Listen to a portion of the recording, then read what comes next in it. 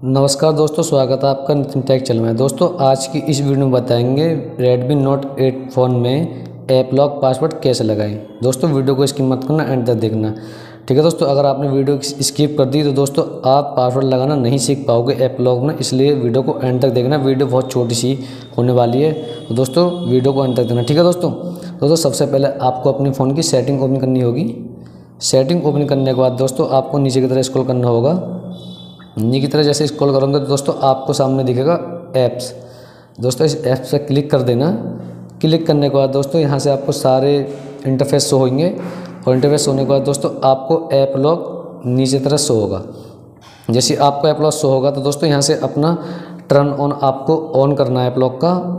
On करने के बाद दोस्तों इस तरह का आपको फिर से इंटरफेस शो होगा और यहाँ से आप कोई भी पैटर्न लगा सकते हो। ठीक है दोस्तों?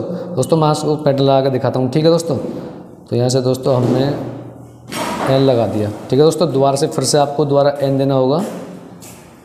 एन देने के बाद दोस्तों, यहाँ से आप नीचे की तरफ़ आपको नेक्स्ट कर देना है। जैसे आप नीचे की तरफ़ नेक्स्ट करोगे तो यहाँ से आपका ऐप लॉक का पासवर्ड सेट हो जाएगा और यहाँ से आप साइन एस ऐड कर देना। दोस्तों, आपका इस तरह से ऐप लॉक का पासवर्ड लग जाएगा। ठीक है दोस्तों?